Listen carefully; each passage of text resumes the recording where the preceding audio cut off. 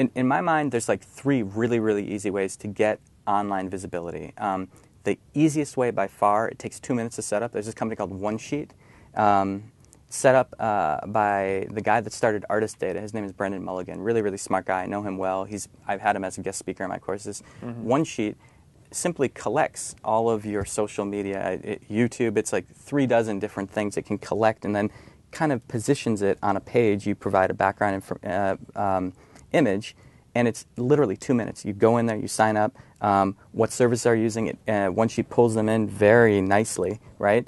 And you're done. And by the time I just said the sentence, you're done. You know. Yep. So that's very easy for for web visibility. And I think it's not super robust, but it's something you do immediately. Then a v another like easy way to get things happening is Bandzoogle and Virb. These are hosted services that have templates. Again, you pop in there, uh, you decide what template you want, you decide which um, different uh, tabs you want, how you want to, per, you know, uh, how you want your, your music out there, you know, that sort of thing.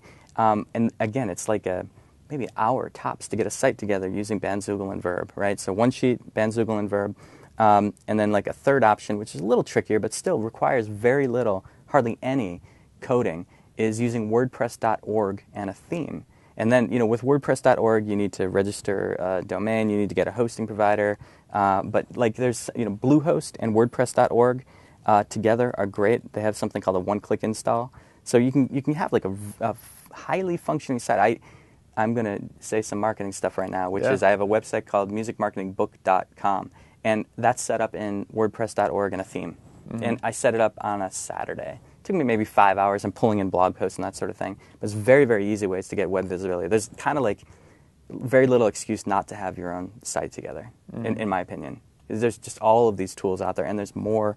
OneSheet is new. I mean, that thing didn't exist six months ago. You know, And you don't have to be like an HTML code No, expert or anything no. anymore. Yeah, not at all. Yeah, yeah, it's really great. simple. Yeah.